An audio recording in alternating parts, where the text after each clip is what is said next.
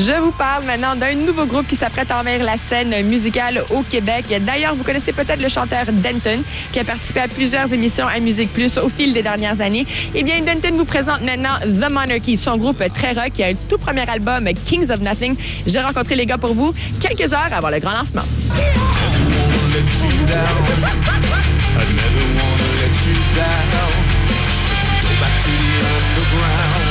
Parlez-nous un peu de l'historique euh, du groupe.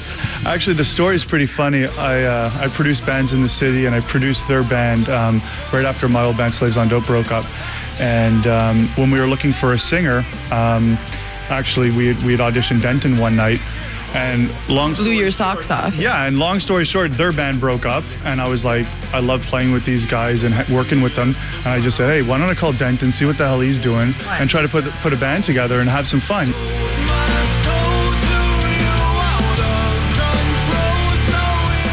Peu des influences du groupe? Est-ce que ça reste des influences qui viennent de vos anciens projets comme Slaves on Dope ou c'est vraiment des influences plus larges? C'est quoi vraiment?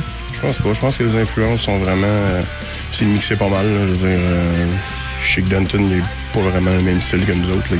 Il, il aime plus euh, le 80s, euh, 80s rock, le Bowie, pis ces affaires-là. Puis euh, nous autres, on est peut-être plus. euh, ben, je parle pour moi, plus le Zeppelin, peut-être euh, Metallica, ACDC. là. Puis, Le, le processus de création, comment ça marche pour Monarchy? Je me suis battu contre Big. J'ai gagné. non, non, mais non, c'est pas une grosse bataille. C'est un genre, faut vraiment s'ajuster. Comme je disais tout à l'heure, c'est pas une joke. Les deux, deux premières pratiques, j'ai j'ai rien fait.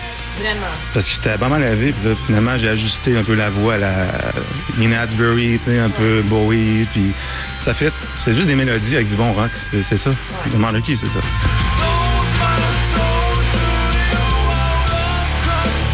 Le vidéoclip, le concept, est-ce que vous étiez vraiment impliqué dans, dans tout le processus créatif? le concept reste quand même, là, si on veut, l'idée un peu d'un, d'un, d'un- d'un- d'un band tête qui rock avec quelqu'un qui cherche le band, euh, mais qui finit jamais par le trouver. Pourtant, le band est là.